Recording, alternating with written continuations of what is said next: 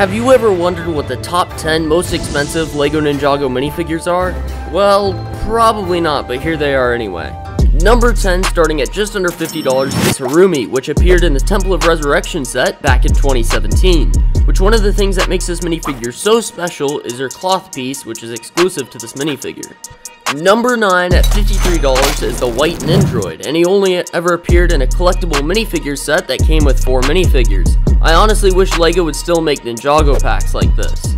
Number 8 is Jay DX, which appeared in two sets, which were the Skeleton Bowling and Lightning Dragon Battle sets, and this figure goes for about $53. This figure is actually pretty simple, but still sought after because of how popular Jay is as a character. Number 7 is actually very surprising at $63, is the Kai minifigure from the Ninjago movie, and he only ever came in the Ninjago City set. This is only surprising because usually minifigures from the Ninjago movie don't do too well. Number 6 on the contrary isn't so surprising. It's Samukai which came in two of the very first Ninjago sets back in 2011, Garmadon's Dark Fortress and the Fire Temple, and he goes for about $63. The old skeleton minifigures from the pilot episodes are very nostalgic, so it's not super surprising to see Samukai on this list. Also, if you're enjoying this video, I'd really appreciate it if you could subscribe and like this video as well as comment, since these videos take a very, very long time to make.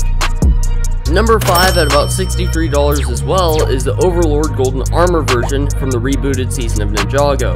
He came in the Battle for Ninjago City set back in 2014, and it's surprising to be on this list after having an ugly better version of the figure made just recently in the Ninjago Legacy line of sets.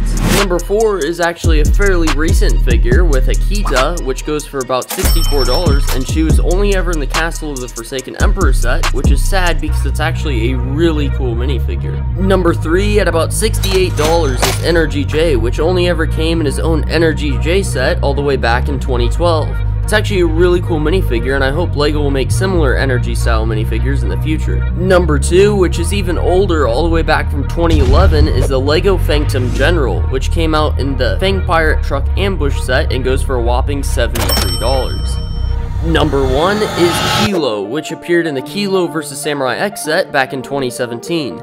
I actually think Killow was a really cool character in the show and I hope he'll make another appearance in the future. Anyways, this minifigure goes for a whopping $75, which is honestly crazy. But which one is your favorite? Let me know in the comments.